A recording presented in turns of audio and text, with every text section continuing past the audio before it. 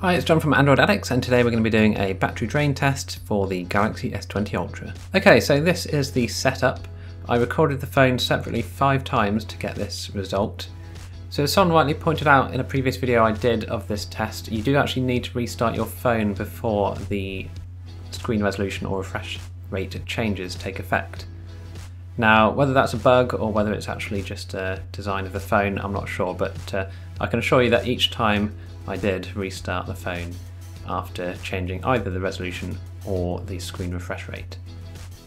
So what we've got here is a 4K resolution video which we'll be playing on loop. The phone screen brightness is set to maximum and we have Wi-Fi on, Bluetooth on, NFC still left on and we have a SIM card in the phone. Okay, so let's start the test and see how we get on.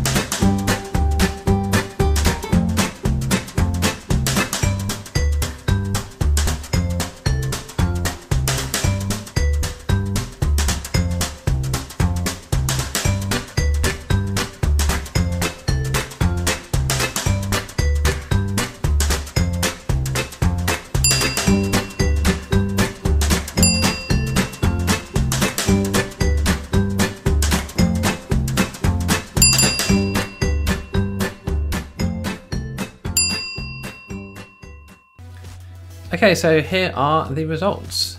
720p at 60Hz came in at 10 hours and 23 minutes. 720p at 120Hz, 8 hours and 48 minutes.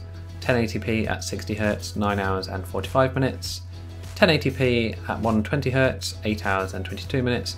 And WQHD plus 60Hz, 9 hours and 47 minutes. So aside from the fact the 720p at 60Hz won by quite a distance, so it's quite interesting to see from this result that there's actually only two minutes of difference between the 1080p 60 and WQHD 60Hz.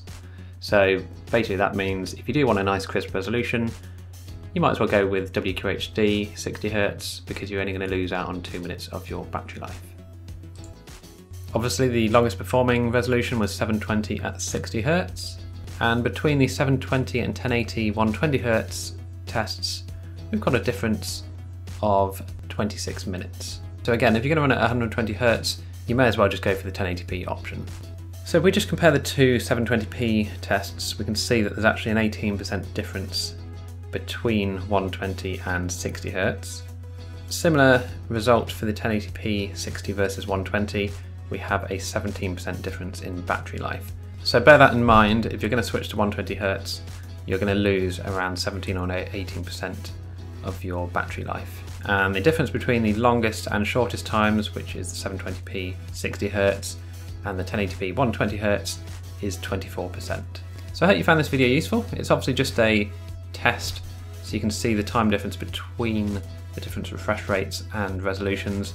Obviously no one's going to use their phone in this way particularly, but it does give you a sort of percentage difference you can work out between different resolutions and refresh rates so you can best set your phone for the best battery for what you need. So I hope you found this video useful. Please subscribe if you did. Leave any comments you have down below and I will see you in the next video.